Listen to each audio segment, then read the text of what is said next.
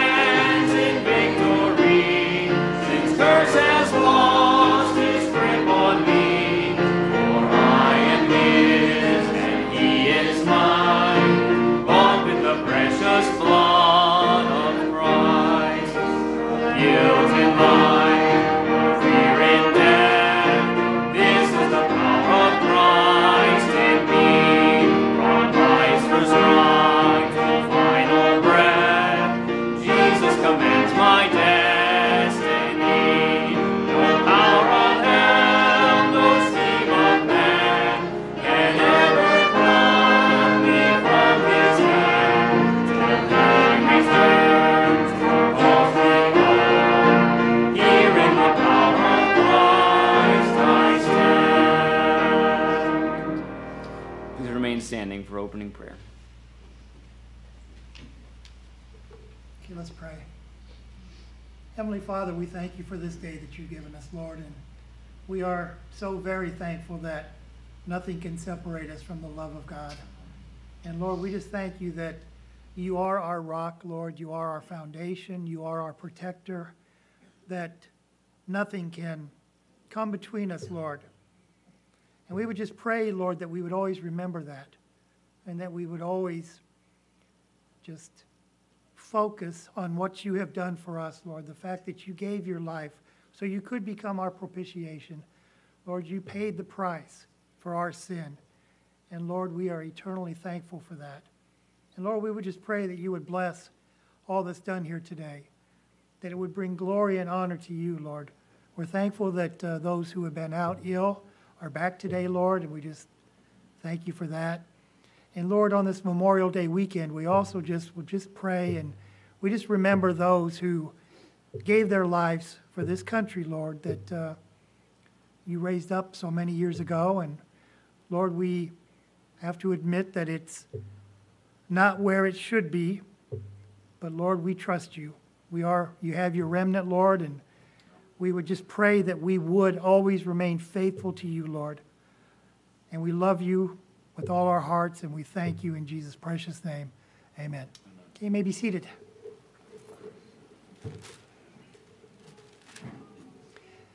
In John chapter 7 and 8. Begin reading in chapter 7, verse 52. They answered and said unto him, Art thou also of Galilee? Search and look, for out of Galilee ariseth no prophet. And every man went unto his own house. Jesus went unto the Mount of Olives, and early in the morning he came again into the temple, and all the people came unto him, and he sat down and taught them. And the scribes and the Pharisees brought unto him a woman taken in adultery.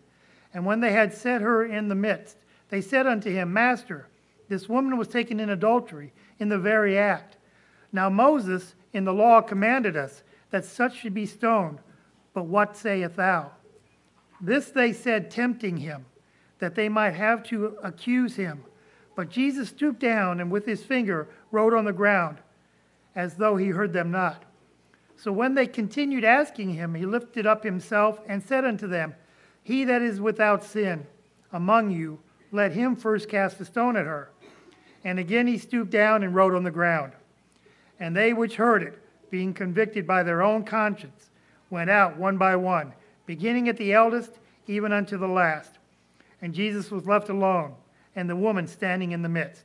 When Jesus had lifted up himself and saw none but the woman, he said unto her, Woman, where art those thine accusers? Hath no man condemned thee? She said, No man, Lord. And Jesus said unto her, Neither do I condemn thee. Go and sin no more.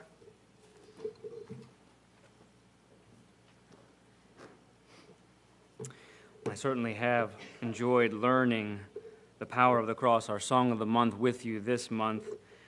The cross is supposed to be a, a, a symbol of shame and, and really horrific uh, suffering, and yet there is power. There is power in this symbol, this cross.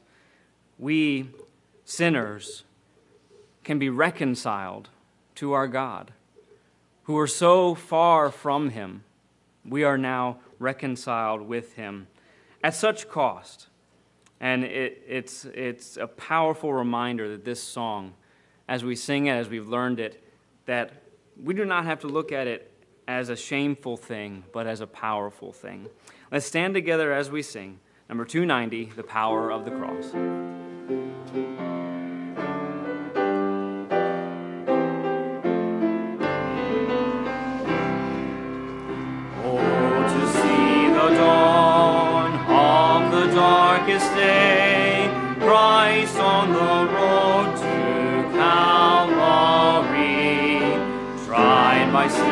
Sinful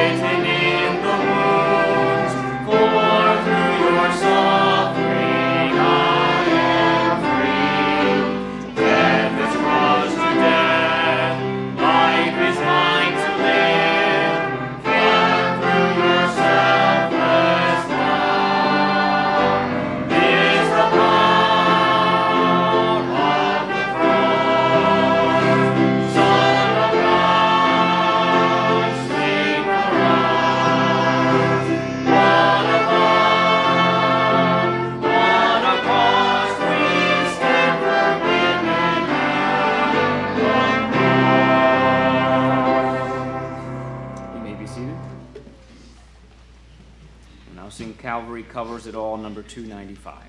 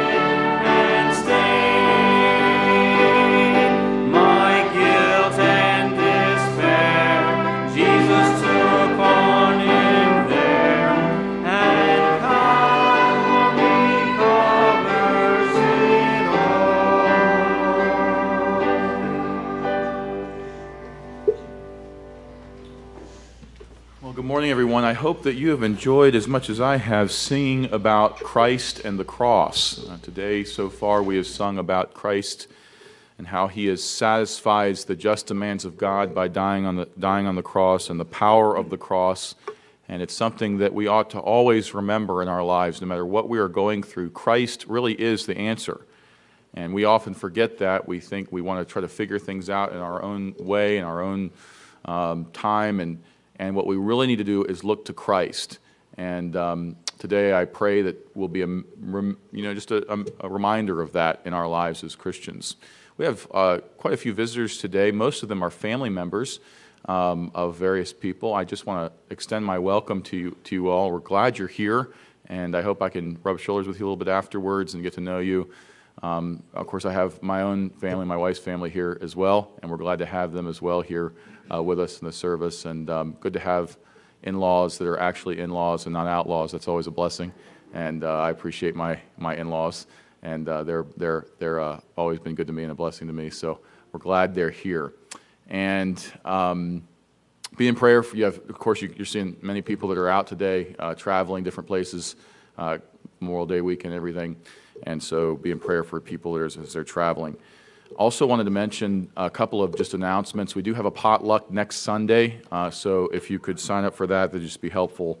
Uh, so on your way out, please do that. Um, that's uh, Communion Sunday and the potluck afterwards. No evening service or um, or groups next Sunday. Uh, also, I just wanted to express my own. I appreciate Kim mentioning that in the mentioning this in the prayer. Express my own thankfulness just for the men and women who who sacrificed their lives uh, to keep our freedoms.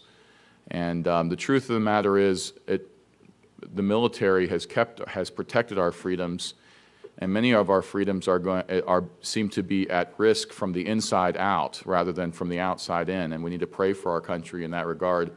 But I do want to just express my own thankfulness. I know all of you agree with me about that, that we're thankful for those who, um, who, who gave their lives um, in service to our country to protect our freedoms. I just am curious is there anybody here that, sa- that would say, you know someone who died protecting our country? You know of someone that did that? Just, would you just slip your hand up?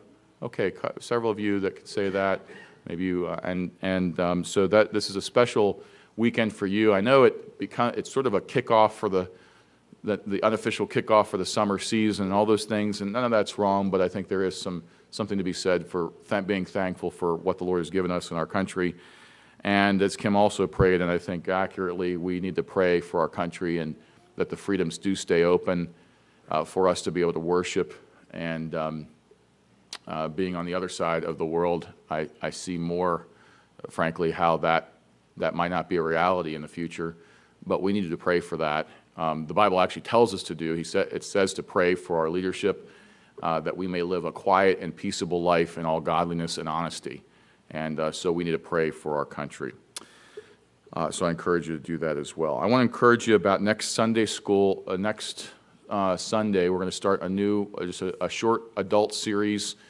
Actually, I'd, I'd, I think I'd like, to, I'd like the teens involved in this as well. But um, it's going to be on Christian community and how a church should be a certain kind of biblical, Christ-centered community. Uh, it's going to be, I'm going to sort of take it from a book called Compelling Community, and it's one that is very biblical, uh, really draws almost exclusively from how things should be done scripturally, and I think it will be helpful for our church. And so we'll look over at that for the month of June, and we'll take a break from 2 Samuel. We'll come back to 2 Samuel after we are done with that mini series. I just really want to encourage you to, if, if at all possible, be here for that, uh, for that and during the Sunday school hour. Um, I, I don't think I, I've learned much from this book. You know, it's sort of funny. I've been uh, when I was over in China. Um, when um, missionary Matt Conrad uh, uh, he was introducing me, he said I had been in the ministry for over 10 years, uh, and uh, I thought, oh, really? Has it been that long? I guess it has been that long. But it's amazing how you just keep learning new things. I mean, it is. I mean, it's just amazing to me that I, I, I every time I learn more, it's like I realize how much I don't know, which is probably scary for you all as like a pastor that doesn't know a lot. Um, uh, I, I'm just telling you, I'm learning as we go. That's all, that's all, that's all I can say. And I am thankful uh, that the Lord does is faithful to teach us what we need to know when we need to know it. I'm, I'm confident of that. And uh, so I've learned some things that I just want to share with, our, with, with you all. And so I encourage you to, uh, if at all possible, be here for Sunday school in the month of June. Um, I think that is all that we have. Uh, do uh, you got the dates for the Vacation Bible School in there? Please make sure that you're aware of those. Um, and we need to be finalizing uh, where people are going to be, be, placed. And I'll probably this week or next week be sending out a sort of a permanent um, uh, schedule. I emailed one a couple weeks ago that was temporary. So please let me, me know if, if where I've placed you is not good. Please let me know about that. All right, gentlemen, if you come forward for the offering. Uh, visitors, if you do me a favor, if you would just fill out a visitor's card in the back of the chair in front of you, or you should have received a guest packet as you came in, uh, just fill that out, drop that in the offering plate. That, that can be your offering to us, just, just your information there, and we can get a letter out to you. We promise we won't flood you with mail. Uh, just one letter is all we do. Uh, but um, we'll uh, try to get that out to you and, and also just have a record of your visit. So appreciate that if you could do that. Let's pray together. Father, we thank you that Christ is and has made provision for sin. And there isn't any question that we, we uh, face the effects of sin every day of our lives. We sin ourselves. Oh, the world is in sin. Um, our kids are born into sin. And we understand that we have lots of problems because of sin. The world lieth and it is groaning, according to your word, because of sin. And yet we are so grateful that you did not leave us to our own devices, that you sent your own Son, Jesus Christ, to die to pay the punishment for our sin, so that we could be victorious over sin and death and ultimately the effects of sin. We thank you, Lord, that you give us grace to live lives that are pleasing in your sight if we will accept that grace by faith.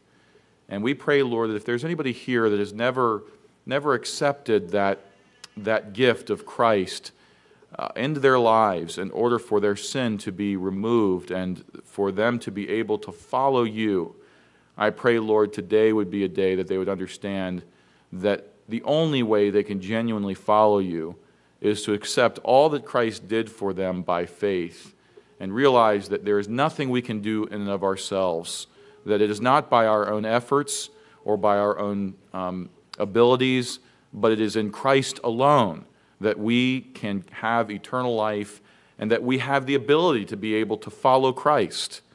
We pray, Lord, we thank you, Lord, for Christ. We thank you uh, for the fact that as we live this life and rub shoulders with people and deal with things and struggle, and um, that, that Christ is our source of strength. He, there is power in the cross, there is power in our redemption. And Lord, we admit before you that sometimes we diminish what, what we think Christ can do in our lives uh, to deal with the problems that are as a, as a result of sin. And we admit that. And we pray, Lord, that we would, by faith, trust you. We pray that you would help us to understand that it is your desire, according to Romans 6, that, that sin would not have dominion over us any longer. And I pray, Lord, that you would help us to live lives that, are, that, that apply that verse. And as we look at your word today, we pray that you would help us to learn how to deal with sin in a Christ like manner it's so easy for us to be imbalanced where we become overly judgmental and condemning of ourselves or of others. Or we become permissive. And, and, um, and, and it's so easy for us to go to extremes. And yet I pray, Lord, that you would help us to see how we can stand for truth and righteousness, but be merciful. May we follow Christ's example in this. And I pray, Lord, that you would help us to see this in your word uh, in a little while. We pray, Lord, that our hearts would be tuned to you this morning, that we would put away the distractions in our minds and our hearts, and we would truly worship you in a way that is pleasing to you. We know your, your word tells us that worship pleases you. It's hard for us to understand how you, the God of the universe, the creator of the ends of the earth, the one who needs nothing, delights in our worship, and yet you clearly say that you do. And so today I pray, Lord, that you would help us uh, to worship you. And I pray, Lord, that we would be thoughtful of the fact that it is a sweet smell in your nostrils as we do. May we lift Christ. May he have the preeminence in our service and in our lives and in our church. And we pray, Lord, for the offering as it is taken up, that we would give it in a way as an act of worship to you. And we pray these things in Christ's name. Amen.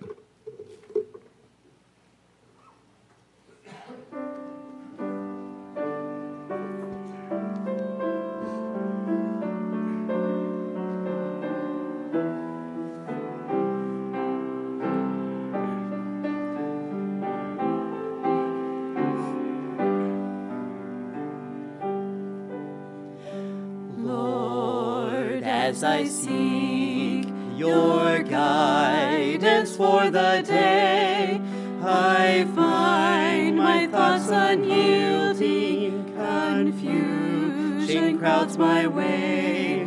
But then when I bow to you, the challenges you guide me through, your promises are ever new.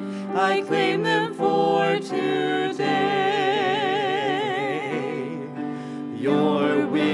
cannot lead me, where your grace will not keep me. Your hand will protect me. I rest in your care. Your eyes will watch over me. Your love will forgive me. And when I am faltering, I still will find you there.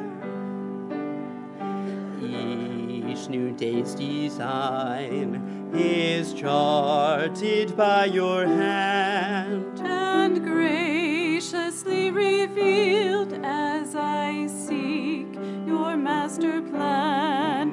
Keep my My footsteps faithful when from you I go. Return me to the joy that your blessings can bestow. Your will cannot lead me where your grace will not keep me. Your hand will protect me. I rest will watch over me. Your love will forgive me. And when I am faltering, I still will find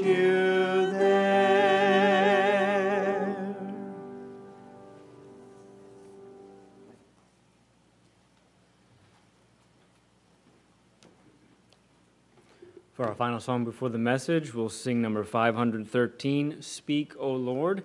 And stand together as we sing, and children at this time can be dismissed to junior church.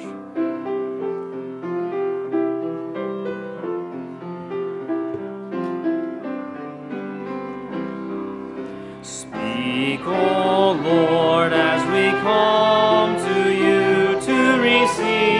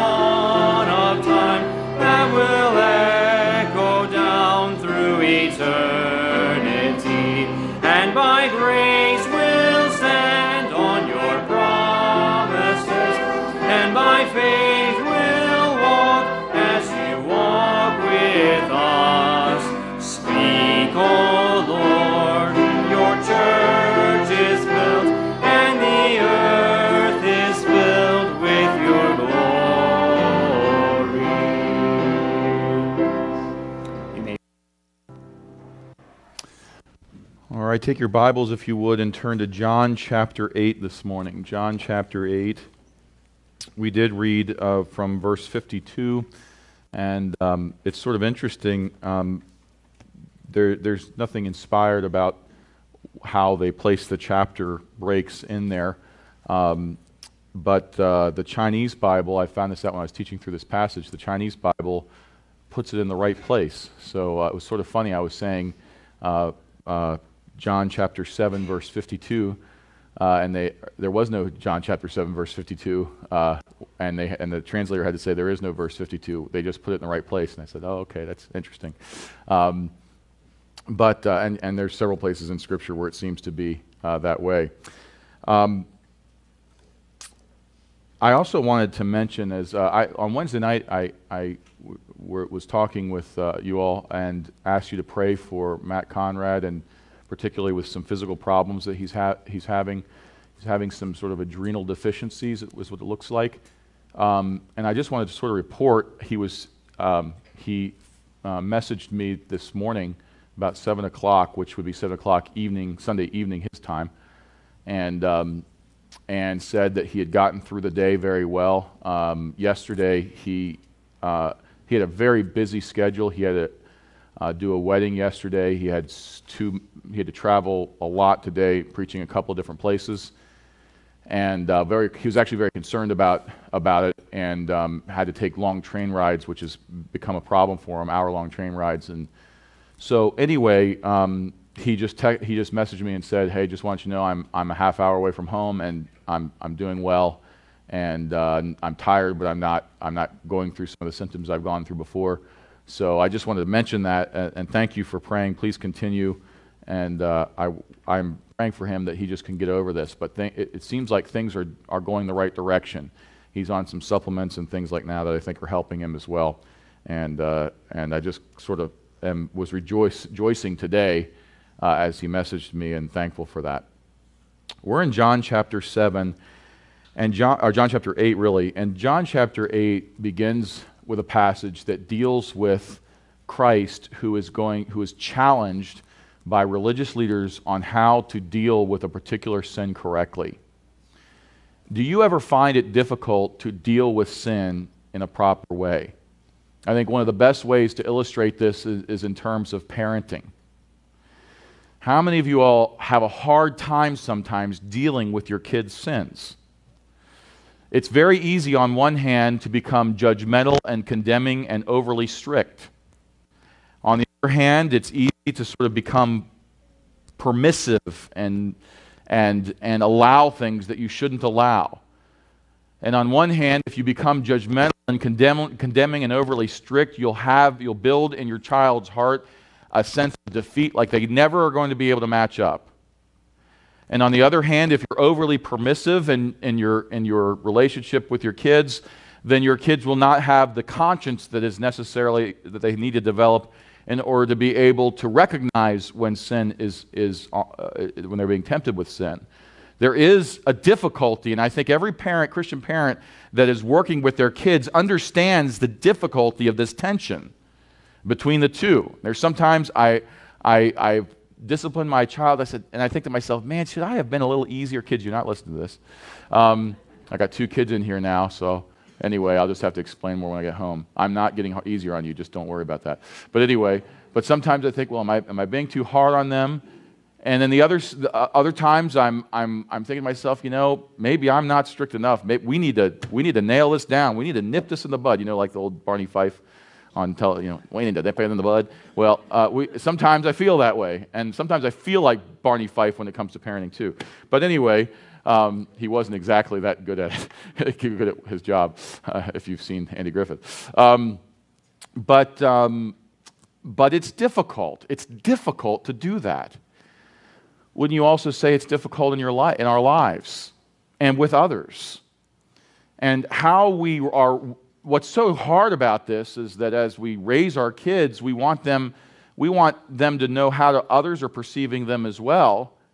And sometimes we can give them a complex about how others are perceiving them. We can have complex ourselves about how people are receiving, receiving us. And some people uh, we might feel are overly judgmental and condemning, and others are too permissive. And, and we do that ourselves with others, and knowing how to even just interact in the body and with other Christians, that becomes a little bit confusing and difficult to know what to do and how to do it correctly.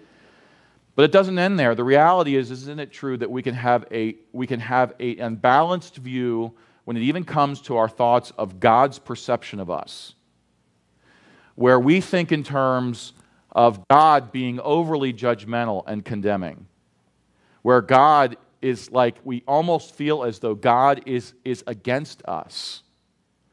The Bible tells us in 1 John that our hearts can condemn us. On the other hand, sometimes we feel that God is just going to skirt everything and let everything go and be merciful and be so merciful that he is near permissive in his behavior toward us and his disposition toward us. And of course, this really boils down to ourselves and how we view ourselves. Sometimes we view ourselves in a way that we feel as though we are never going to match up to what God is expecting of us. And we feel, we feel uh, almost uh, sort of uh, strange when, we, when we're interacting with others. We wonder who is, who is feeling the same way about us. On the other hand, when we're dealing with ourselves, sometimes we're too permissive. And we think, well, God is very merciful, and so I'll just let, you know, I'll be a little more easygoing with myself. And if we're honest with ourselves, we sort of like ping pong a ball, we go back and forth between those two. Not only do we go back and forth between those two when it comes to our kids, we move from strictness to permissiveness sometimes, but sometimes we do that with ourselves. We move from strictness to permissiveness and we sort of bounce back and forth. Folks, wouldn't you say that isn't it true that what we've got to do is find, find Christ's example on this? We've got to see how Christ deals with sin. And we need to learn to deal with it the same way he dealt with it. And I want to say very, at the very outset of it that it is Christ's desire that we be free. That we be free. The Bible says that the Son, therefore, will make you free. You will be free indeed. It's God's desire, Christ's desire that we be free from sin. It doesn't mean that we will be sinless, but Christ has atoned for our sin and he wants us to be free from it. And, folks, that means free from the, the effects of sin. It doesn't mean that sin will not influence us. It will not, We'll always be aware of it as long as this side of heaven. By the way, aren't you thank, aren't you looking forward to heaven? You won't be dealing with it anymore. I can't, I mean, really, some days I can't wait. It's like, just take me home, Lord and won't, won't have to deal with this anymore. But until we go home to be with the Lord, we will be dealing with it. But God has given us, Christ, Christ has given us everything that we need by His grace to deal with this. And what we're going to learn today is we're going to see some religious leaders that really, I think, fairly well represent uh, organized religion in our culture and how they deal with it. And really, they deal with it incorrectly, and they become offended when Christ deals with it in the way that they do, he does. And they want him to deal with things in a certain way. And Christ says Christ deals with, in, with it in the right way. And we can really learn to deal with our own sin. And really, I think by application, we can learn to deal with our own kids' sin. And really, just enlarge how to deal with sin. We can do this by following Christ's example. Because not only has Christ given us the example, but Christ has made every provision for us to be able to follow his example. He's empowered us to do it. He's given the grace for us to be able to do this. And so it is that, it, is, Lord willing, that's what we're going to see in this passage. First, we need to ask the Lord's help, and so let's go to him in prayer. Father, we thank you, Lord, just for the privilege of coming together today, and we thank you for Christ. And we pray today as we look at both his example and his provision for the needs in our lives that are a result of living in a sinful world and being sinful people. I pray, Lord, that you would help us to see Christ's grace, Christ's provision, and really Christ's direction. That we would begin to follow Christ's example. And I pray, Lord, that it would, it would help us. We know we need help in this area. We know we so easily forget some of the simple truths about what Christ does in following and in, in, dealing with sin. And I pray, Lord, that we would see the balance of Christ today, the only one who has the perfect balance, because we know we certainly do not. And that that balance of how Christ deals with things would cause us to have the same kind in our lives, and so that we can say with Paul that sin, sin doesn't have dominion over us any longer. And I pray these things in Christ's name. Amen. Well, I should probably mention that as we look at this passage this morning, we are going through the book of John. Um, it would not, uh, I would not have chosen this passage in particular to preach from, but I'm also faithful to preaching the whole counsel of God and to not skip, skipping over difficult or awkward passages. But we will find, and what we need to focus on in this passage is how Christ deals with things. We want to lift, lift up Christ this morning, and we, we want to see how Christ is going to deal with things in this passage. We find sort of a difficult and awkward situation that the religious leaders put Christ in in dealing with a woman who was caught in adultery. And we find in this passage that Christ deals with it as only Christ can and we want to focus on how Christ deals with this. And we pick up here in verse uh, 1 of chapter 8, where it says, well, actually, uh, verse 53, we find that they were meeting in the temple, and then they all went to their own houses, and Christ went up to the Mount of Olives. And it's interesting that if you saw, if you were here for Sunday school, uh, Hisham uh, gave us a little video actually, and that was not planned. He we didn't work together on that, but gave us a little video of uh, the Kidron Valley and seeing the Mount of Olives on one side and the Temple Mount on the other. And I, I was, I, I, was very interested in that. I actually am amazed at how um, sharp the decline, like it was, it's very, uh, what's the word? I don't know. Sharp. It's the only thing I can think of. That's not really the right word, but it has a steep, steep, that's the word I'm thinking of, steep, steep uh, uh, incline uh, on both sides of this. And so it was sort of interesting to do that. So apparently Christ climbed the Mount of Olives. He went down uh, the Mount, uh, Temple Mountain, climbed the Mount of Olives, in order to be, we would, I, I would suspect he, would, he, was, he was with the Lord. He had been dealing with the people and he had been teaching them and he had been rubbing shoulders with them and he had been being actually opposed by the people and there was confusion regarding his ministry and his work and his person and the religious leaders were trying to, were trying to find accusation against him and he took time just to be alone with God. And there's a lesson, that's not the point of our message, but that, there's a lesson just in that. That there are times where we need to, to just be alone with God. And Hisham kind of touched on that today in Sunday school as well. And we find, if we look at the life of Christ, that there are several, many times where after dealing with people, he took the time to just get away and be alone with God. And there's a great example for us as well. You ever struggle dealing with people?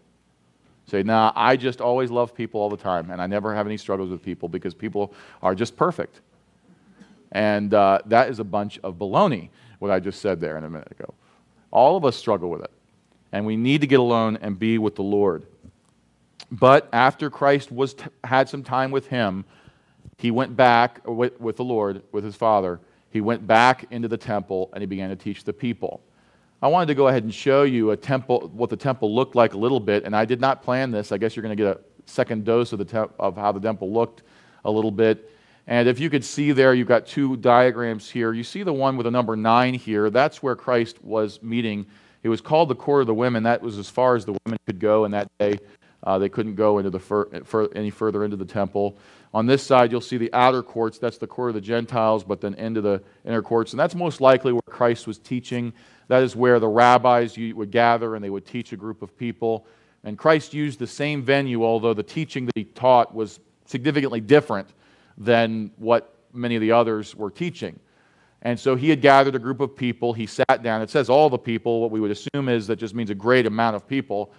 And, he, and really, really, probably everybody that was in that court of the women was probably gathered together to listen to him. There wasn't anybody else that was going anywhere else or listening to anybody else. They all sort of gathered to listen to Christ. And he was in, so there was a gr- group of, a large group of people there. And he was in the middle of the teaching them, and the religious leaders decided to come up and they were going to deal, they wanted to trip him up. And they thought, well, this is a good, big public setting. If we can trip him up in, in, in, in public, then we can cause him to be able to diminish in his popularity, and we can, we can put away with this problem of Jesus that, that we are dealing with. And so we see in the passage, verse 3 and the scribes and Pharisees brought unto him a woman taken in adultery when they had set here uh, in the midst. And say unto, uh, they say unto him, Master, this woman was taken in adultery in the very act. Now, verse 5 Now Moses in the law commanded us that which should be stoned, but, but what sayest thou? This they said, tempting him that they might have, have to accuse him. And so they came to Jesus in this way. We have two groups of people here described here in this, in this passage. We have both the scribes and the Pharisees. The scribes were one, when we think of scribes, we would, we would not get a full picture of what the Bible talks about when it talks of scribes. When we think of scribes, we would, somebody, we would think of somebody that simply just tr- sort of transcribes a document. And although the scribes were involved in doing that, they were involved in doing far more than that. They were responsible for preserving uh, the, the documents of the law. And really, they had become responsible for dealing with the details of the law. And it's, it's been suggested, in fact, that they, they sort of took the roles of lawyer, ethi- ethnicist, um, not ethnicist, ethicist, ethicist, um, theologian, and all into one, a jurist all into one. Uh, these people had a lot of influence, and they were ones. They were considered sort of the authorities on what the Mosaic law said, and really they got into how it should be interpreted, and furthermore how it should be applied. And a large group of them actually were Pharisees in their thinking. And what I mean by that is this the Pharisees were a group of people that had the greatest amount of influence in Christ's day. In fact, there were six, over 6,000 Pharisees during the time of Christ. There were other groups like the Sadducees and other, other, other people, but the Pharisees were the ones that influenced, that had the most influence eh, among the Jews in that day. They were the ones that were conservative in their interpretation of the law and they, they really focused on strict adherence to the law, that you've got to follow every letter of the law, that you ought not deviate in any way to the law. And in fact, what they did was they set up man made barriers in between what the law actually said and what people did, so that there were things that they put in place so that you wouldn't even get close to, to, to breaking the law. But Christ says of them that they were whited sepulchres with dead men's bones. He said, You're focused on external righteousness, but your heart is deceitful and desperately wicked. And he says in Matthew chapter 5, he says, that, that except your righteousness shall exceed the righteousness of the scribes and Pharisees, you shall in no case enter into the kingdom of heaven. Christ realized and preached uh, really against the, the, the teaching of the Pharisees because the Pharisees were not concerned about internal heart motive at all. They weren't concerned about internal righteousness, they were only concerned about external righteousness. And when somebody violated an external, some, uh, uh violated a law, they were ready to jump on them. They were judgmental in their approach. They were condemning in their approach and they believed in strict adherence to the law. And I just want to say this that their approach to the law became very legalistic, and, and Christ began to, and, and their approach and how they dealt with people became very, very, um, um, Christ really condemned how they dealt with people. I just want to say this just by way of application. Do you realize that in our country we have all kinds of organized religion?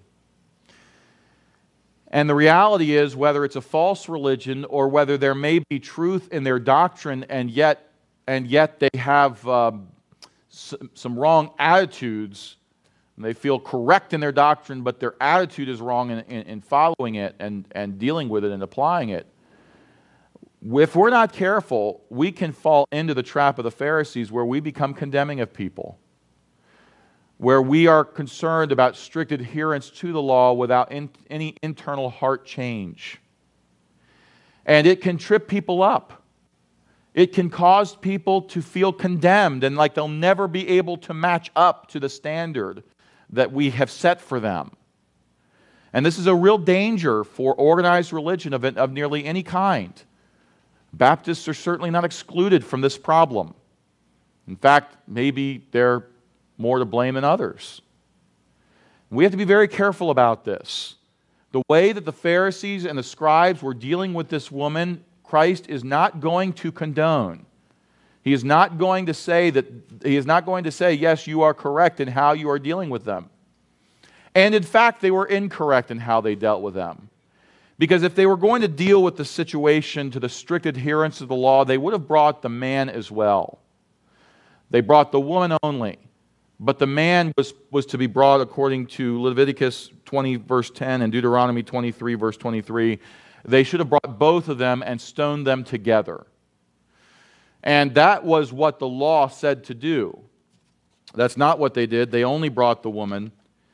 And so they, in trying to keep the law, weren't even faithful in doing that correctly.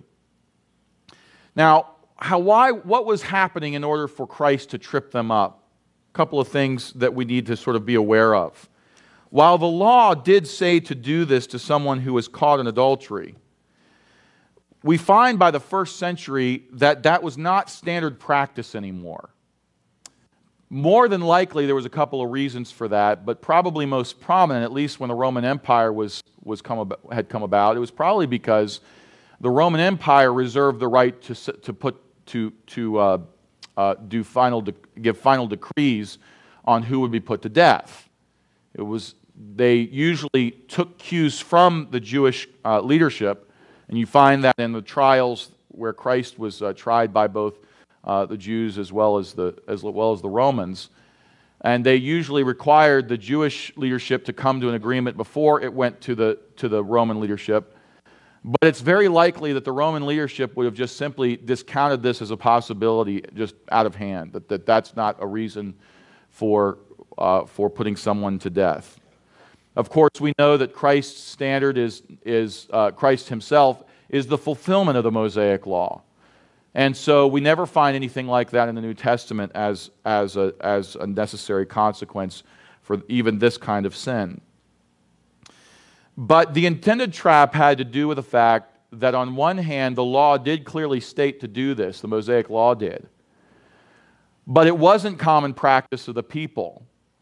If Christ said, if he disavowed this part of the Mosaic law, it would have looked as though he was discounting the law, and it would have, it would have brought him, he, he would have been, become uncredible. And also, he would have been contradicting himself in a sense because he claimed to be God. And God wrote the Mosaic law. And so, if he said something against the Mosaic law, then how in the world would he be able? He would be like self uh, conflicting. And of course, because we know that he claimed to be God, uh, they were trying to catch him in this trap.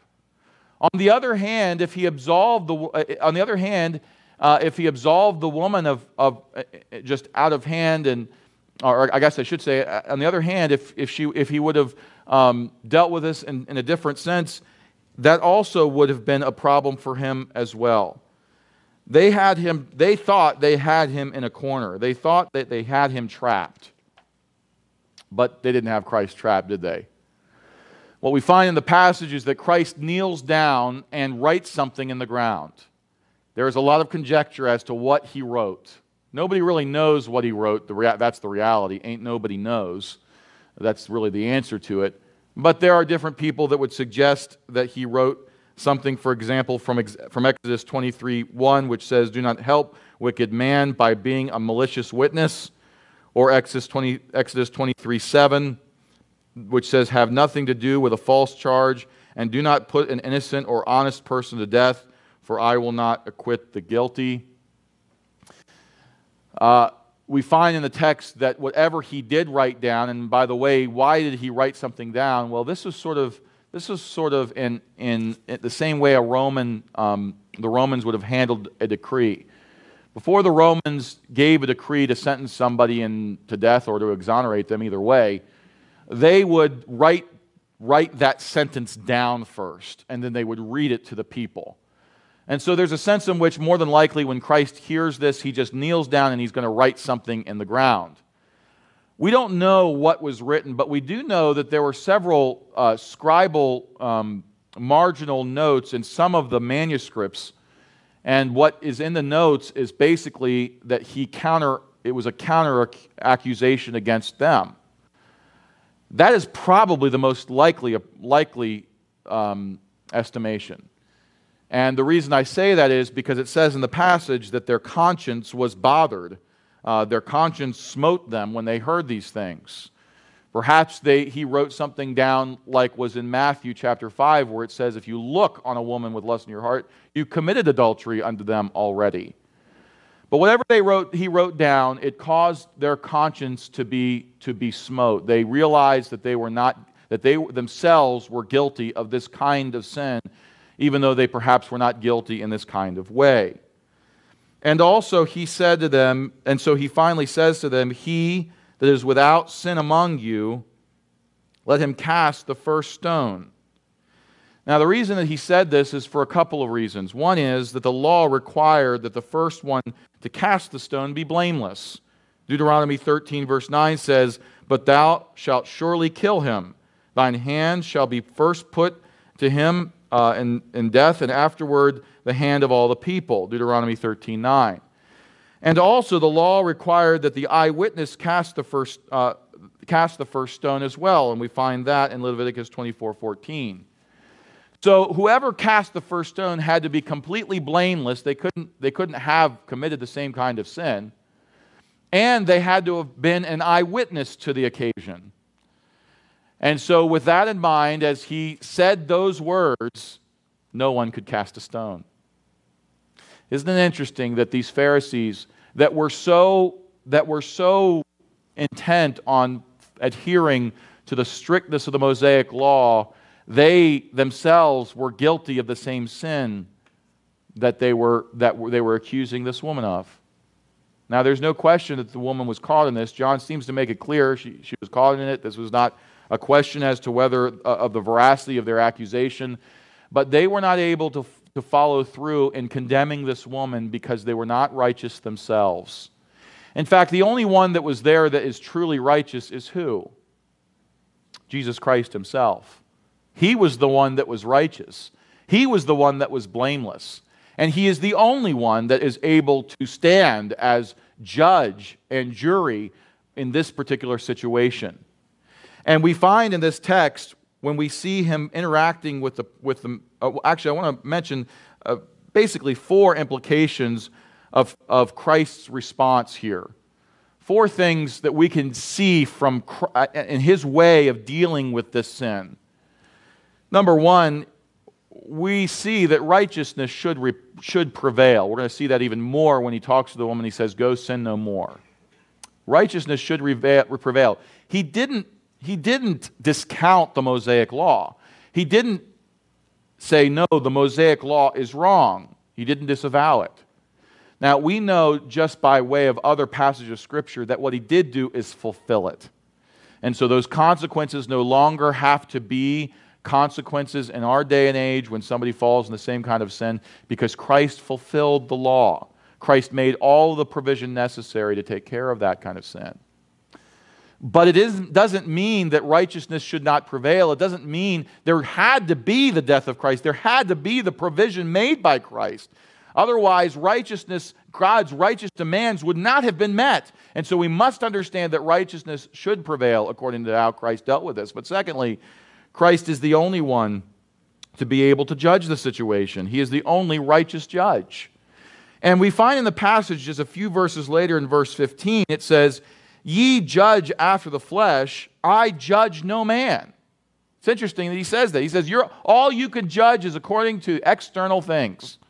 He says, You judge after the flesh, and yet I judge no man. And yet he was the only one who was able to judge. For it says in verse 16, And yet if I judge, my judge is true my judgment, judgment is true, for I am not alone, but I and the Father that, that sent me. We have Christ saying that if I judge, my judgment is true, but I don't judge according to external things. He is the only one that has the ability to be able to judge because isn't it true, folks, that He is the only one that is completely righteous? And so we must understand that He is the only righteous judge. Thirdly, we see that Jesus makes, is going to make provision for this sin. We're going to see this later on. It's kind of implied in the text. It's not clearly explicit in the text, but the way that he deals with the woman, it's clear that he just he makes provision for it. He takes we know that later on when he dies, he's going to take on all of the sin of the world and he's going to make provision for it.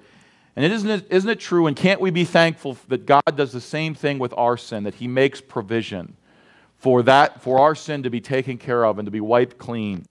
1 John chapter 2 verse 2 says, "And he is the propitiation for our sins." The word propitiation means to satisfy the just demands of God. There is a righteous standard. God does have a right. He wouldn't be God if he didn't have a righteous standard. And yet, Christ came to satisfy those just demands, to satisfy God's righteousness.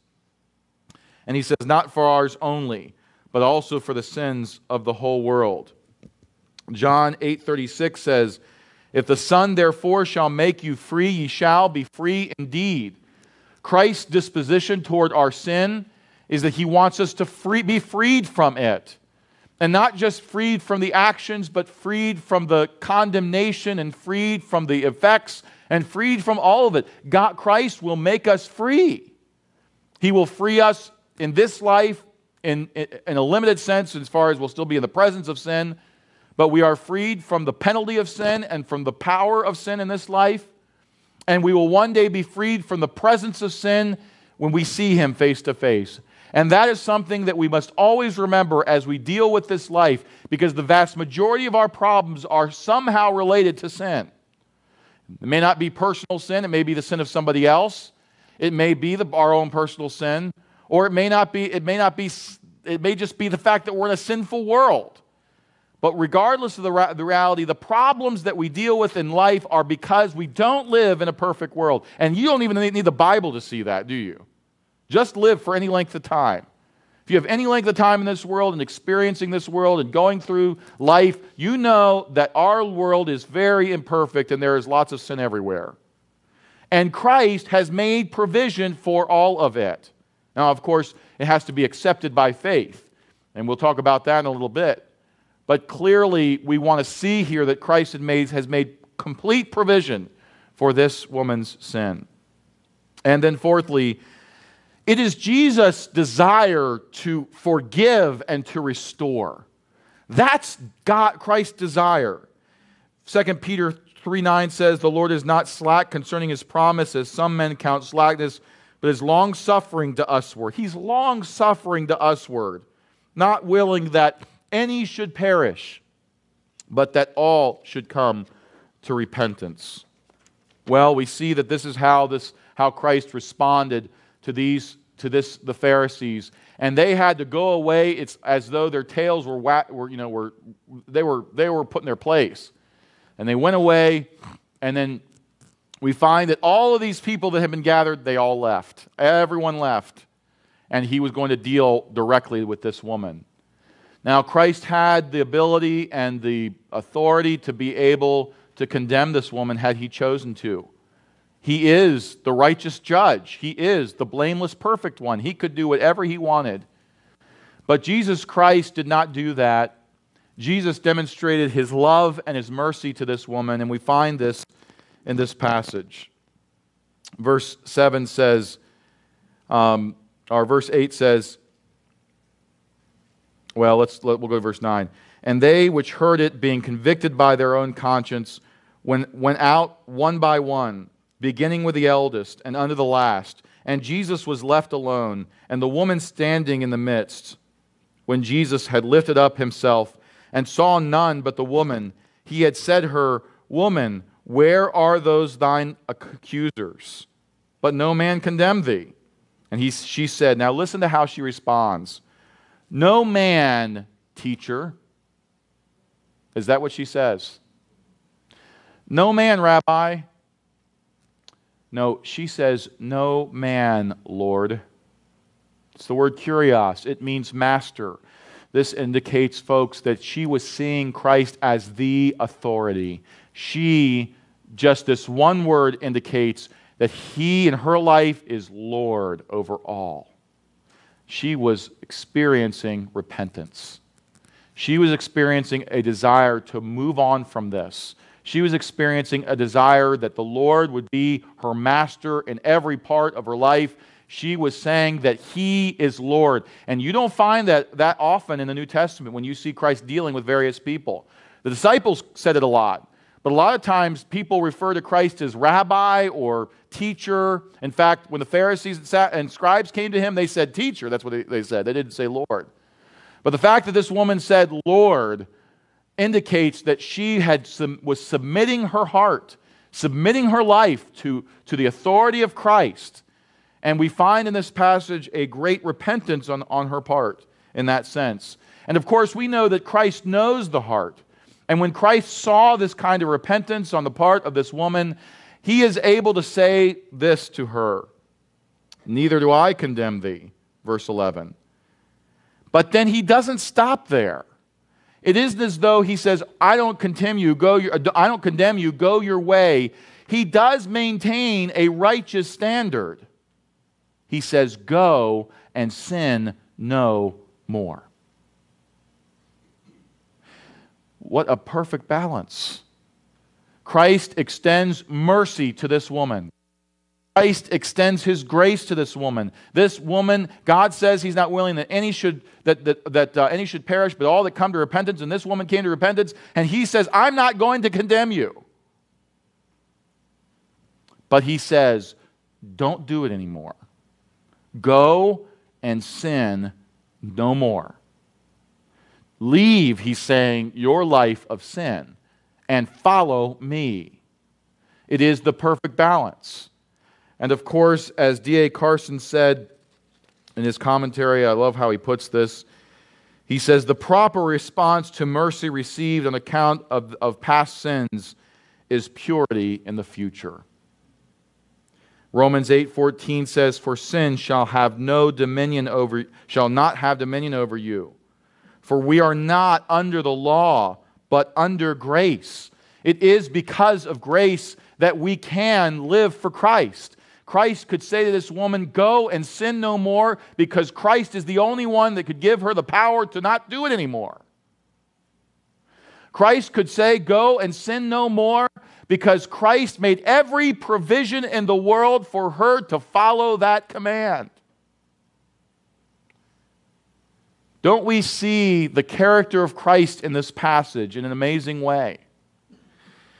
And what we find in this passage is that the reality is, we can apply this to our lives as well.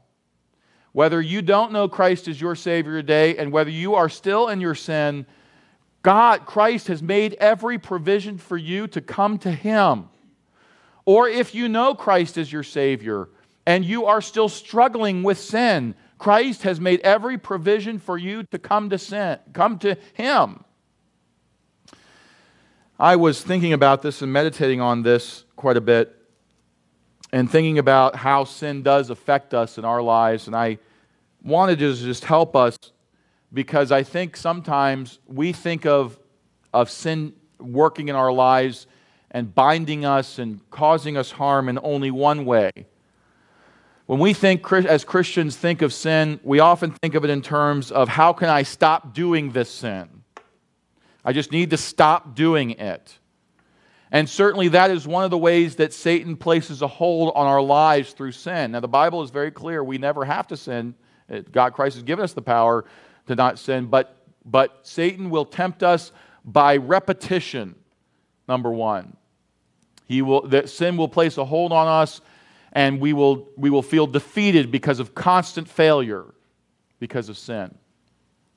And frankly, that is something that all of us have to deal with uh, sometimes, where we are in a pro- we have a problem, we have a particular sin that we are that we are repeating and is a besetting thing for us. And the reality is, we can feel constant defeat and failure over that sin that we can't seem to stop. Number two, though, Christ Number two, uh, sin can place a hold on us through condemnation. The Bible says that our hearts can condemn us, even if we are not continuing in that sin any longer, even if we have stopped it. Our hearts can continue to condemn us. Our hearts can continue to judge us. Our hearts can continue to cause us a, a sense of, of inordinate amount of regret. We, we can become introspective when it comes to these things, and we can become defeated just by the condemnation that we receive because of the sin. But the Bible says in Romans chapter 8 verse 1, there is therefore no condemnation to them that are in Christ Jesus. Christ has made provision, and for us to continue feeling condemned about a sin that Christ has already forgiven is to diminish Christ's work in your life and in my life as well. And thirdly, reminders. Just reminders from the consequences of sin. Now, the reality is, when we sin against God, there are consequences. I don't I just want to say this, what we see in scripture is that Christ does not desire to put the full weight of consequences on us, does he? We see that in this passage. And and there is a sense in which what you sow you reap, but you also find in for example in Hebrews chapter 12 that the whole intent of allowing consequences to continue in life is to bring you back to Himself. And if you look at the whole text of Scripture and you look at what Christ says about this and what God's intention of this is, is that when you, once you come back to Him, though there might be cause and effect that you just can't avoid, once you come back to Him, it is God's desire to, to cease in chastening us. He doesn't want to chasten somebody who's repentant. That's not His desire. And so we have these reminders. And all of these three ways are ways that sin can place a hold on a Christian. But let me tell you something all of these are ways that Christ can give us the victory. Christ has made provision for all of this in our lives so that we can be victorious over sin and death. And you know how he does this? He does this by demonstrating in his word that there is no condemnation to them that are in Christ Jesus. But also, he does this by showing us that we can live obedient lives before him. And what he is calling this woman to, he's not calling her to victory, he's calling her to obedience. He says, Go and sin no more. Do you remember he's done this before in the book of John? When he had healed that man from his, uh, his uh, paral- paralysis uh, back several chapters ago. He said, Go and don't sin anymore. And we see the same thing in this passage. That's Christ's desire. His desire is to not condemn us, that we get rid of it, and that we go in purity as a response to his mercy in our lives. That's Christ's desire. And let me just tell you this that really helps us with parenting, doesn't it? If, your if your children are, you have to, you know, you have to deal with their sin, you got to dis- discipline them. But when they begin to self correct, when they begin to catch their own sin, and when they come to you and they begin to deal with it themselves, you begin to say, okay, well, your conscience is doing the work. and, and there are all kinds of application in their life. But let me just say this it is not God's desire for you and I to live under a sense of condemnation. Why? Because of Christ alone. And the only way we could feel free from condemnation of sin is to recognize the blood of Christ in our lives to deal with all of this kind, these kinds of sins. And that's God's desire for us. He, do you know, isn't it true, folks, that the kind of life that God wants us to live in following Him is the best life we can live? There's pain, and there's hardship, and there's struggle, but it's still a life of joy and peace because you know you're following Christ. And not just externally, but internally in your heart, you're following after him. And the reality is, you and I as Christians can't do it alone. We must constantly depend upon Christ to do what we cannot do for ourselves. It doesn't it only starts when we come to Christ.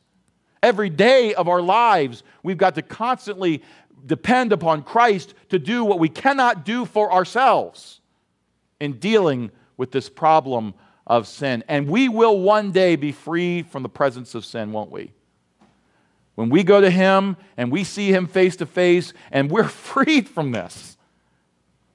And we'll live eternally with Him, still following Him in a perfect way. But until then, God is going to make, Christ can make provision for us. And let me just say this to you there is really only one thing that keeps you from having this kind of provision placed on your life. And that is unbelief. Unbelief is it. If you don't believe Christ can do this for you, that will keep Christ from being able to do this for you. And even as a Christian, that's true. If you don't believe that Christ can free you from this bondage of sin in your life, it's unbelief that's the problem. It boils down to unbelief. But isn't it wonderful in Scripture as we can our hearts can resound with the man who said to Christ, Lord, I believe, help thou my unbelief. The Bible tells us if our heart condemns us, the Bible says God is greater than our hearts and he knoweth all things.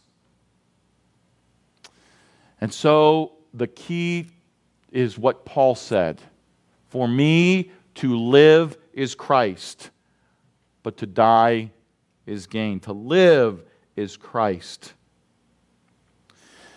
Let me just give a couple of applications here. Number one, we must guard against a condemning spirit that provokes right helplessness and hopelessness. We must guard against a condemning spirit that fosters helplessness and hopelessness. We want to show Christ to others that should not conclude a, a condemning spirit.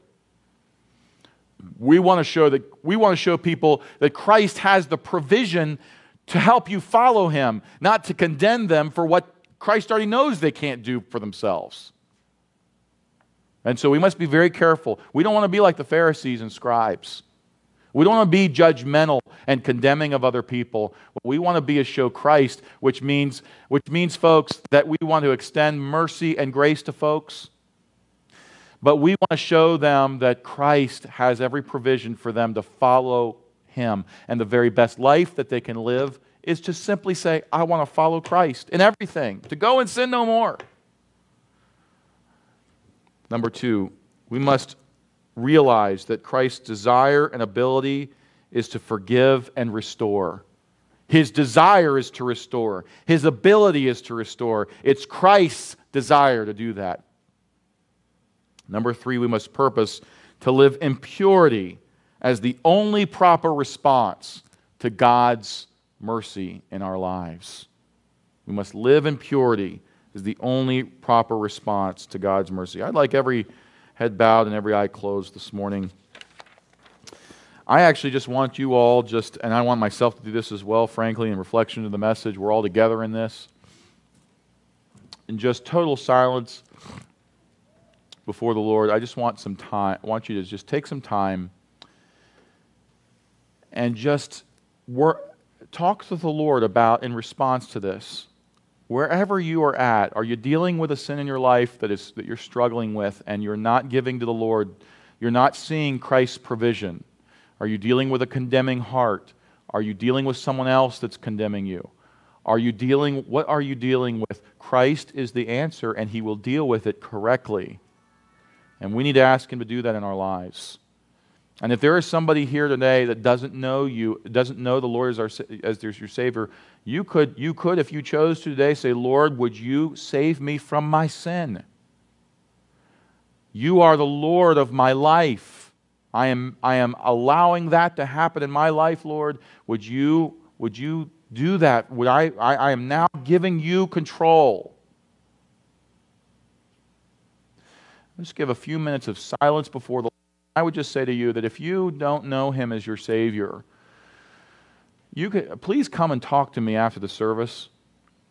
I'd be glad. I'll stop everything I'm doing to talk to you. I'll just tell you I will.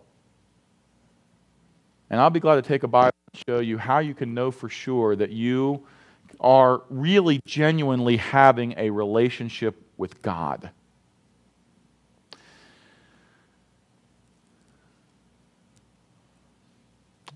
Let's pray.